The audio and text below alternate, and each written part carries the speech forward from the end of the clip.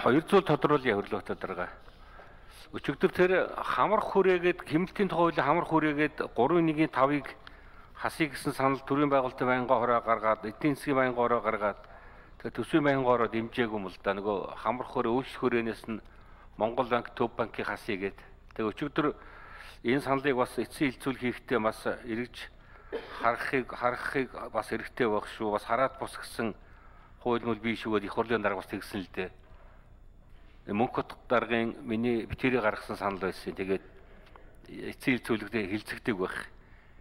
Би бол энэ нөгөө Монгол банкныхаа тухай хуулиас чинь Монгол банк засгийн газраас хараа тусаар ажиллана гэдэр гэсэн хуулийн ийм бас томьёолтой өвгтэй хууль одоо бас дээдлэх энэ одоо зарчмын баримтлаад энэ үйлчлэх хамар хүрээ үйлчлэх одоо хүрээ гэдгээс нь энийг хасчул яасан бэ гэсэн.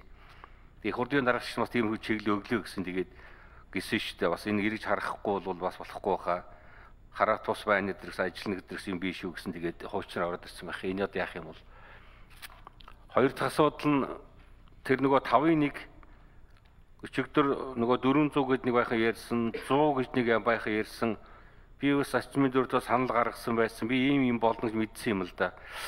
Намайг миний саналыг санд хураах сихруулийн дарга саналаа татчих эргэж ярилцах байх болох байх гэдэг талаар нь ээдээ юу бол холигдчихгүй үстэйгээ морихгүй үстэйгээлээс тэгэл би саналаа татцсан. Тэгээд одоо бүр альчих болсон л байна да. 400 ч байхгүй 100 ч байхгүй л болчих. Энийг одоо эцэг хэлцүүд бэлдэхдээ баянгоороо бас юу гэж бол ярьсан юм бол хоёр дахь асуудал нь би тэр тооч одоо дүүрсэн хэрэг би бас зарчим нь бас буруу байна гэх гээд байгаа юм л да. Энийг дахиж яриаггүй юм лөө. Ерөөсөө энэ агентлаг төрийн өмчийн байгууллагуудын дэд дарга орлогч нарыг байхгүй болгоно гэж байгаа бол энэ хуулиар одоо тусгаал тусгаалan тогтоосон байгууллагуудын дээдрэг асуудал яагаад хөндөж болдгоо. Хуультай бол тэгэл одоо үлдээ илгээд байгаа шүү дээ. Их хурлын харьяа байгууллагуудыг бас дээдрэгтэй холбоотой асуудлыг бас л үлдээ илгээд байгаа шүү дээ. Тэгэхээр хууль одоо бас гаргаж байгаа бол хууль үйлчилж байгаа бол нэг энэ төрийн албан хаагчтай нэг ижил тэгш одоо хандах ёстой бол гэсэн би юм зарчим яриад байгаа юм л та. Хэн нэг одоо овсгоотой сэргэлэн хөөслөгөөтэй сайттай салбарынх нь ялангуяа хууль хяналтын байгууллагууд чинь тэгээд хууль зүйн байнгор юм л болвол саллин хөлсийг нийгмийн баталгааг нь дэд дармаар нь бүгдийг нь одоо хуулинд нь оруулаад ингээл батлуулаад явчихдаг. Тэгээд ийм одоо хөөцөлгөөтэй овсгоотой сайттай ч юм уу энэ салбар нь одоо ингээд манж үлддэг. Тэгээ бос нь одоо тэгээ юу ч хөд одоо байхгүй болдог ийм юм. Энэ чи би бол тэгч зарчим л яриад байгаа юм л та. Их хурлын харьяа байгууллагуудыг ч гэсэн одоо заавал одоо их хурлын харьяа байгууллагыг одоо бас энд оруулахгүй гэдэг зөв юм уу буруу юм уу? Энийг одоо бас дахиж одоо яриаг юм ярих боломцоог юм уу? Би бол төрийн албан хаагчтай адилхан адил тэгш хандах ёстой л гэдэг байгаа шүү дээ.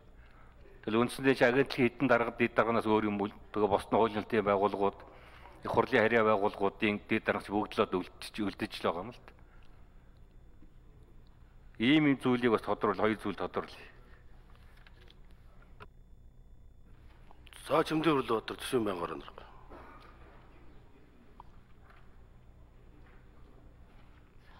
За 3.1-5 буюу энэ төрийн хэмнэлтийн хуулинд Монгол банкыг оролт хамааруулахгүй байя гэдэг юм санал байгаа маа.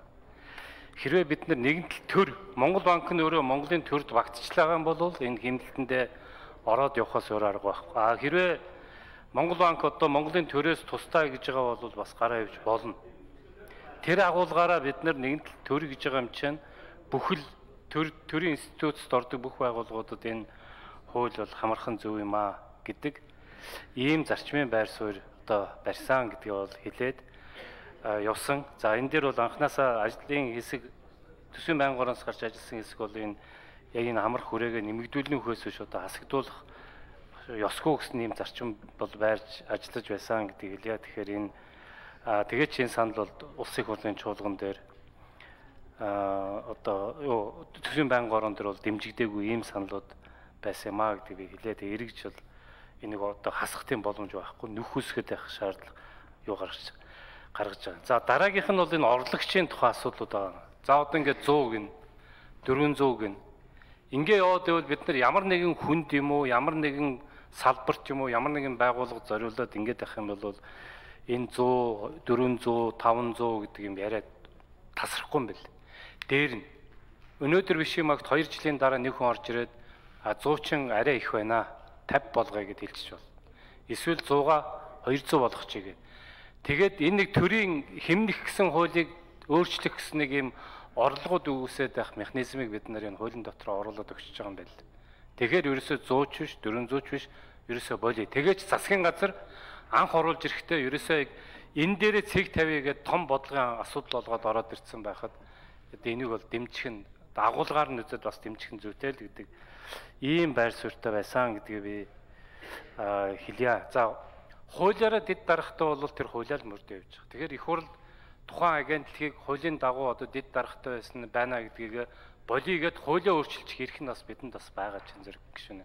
Тэгм учраас агентлагуудыг одоо дидгүү олгоно гэд хэдүүлээ нэгэн тийм шийдвэр гаргаж байгаа бол хуулиа өөрчлөөд дидүүдийг аваад иж бас болно. Тэр нь бол их хурд одоо нээлттэй байгаа гэдгийг би бас хэлье. Мэдээж энэ тийм ээ хэмнэлтийн хууль бол тийм бас их амаргүй яг юм төрд ажиллаж байгаа хүмүүсүүдийн хувьд бидний хувьд. А гэхдээ олон нийтийн хувьд бол зүгээр эрүүл энгийн ухаанаар аваад үзэх төр тансаглаж जैन төр тансаг данхааж जैन гэдэг зүйл ийм бол явагдаад байдаг. За ер нь тэгээ дарга олчрохоор шийдвэр алгал болдог шүү дээ. Цомхон байх тусмаа шийдвэрүүд оновчтой болдог, хариуцлага чангардаг ийм л зүйл. Тэгэхээр ер нь энэ лиг алгасан зөвөө гэдэг байр суурийг илэрхийлье. За салдангийн одон туяа гişүн.